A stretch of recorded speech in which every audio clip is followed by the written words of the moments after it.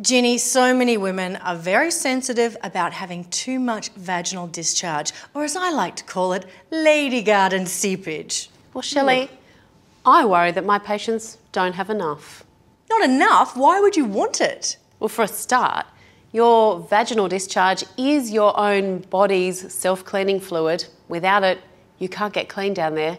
Number two, it's a great lubricant. And number three, it's a sign that your vagina is actually really healthy. Wow. So, how much is normal? Okay, so normal is anywhere between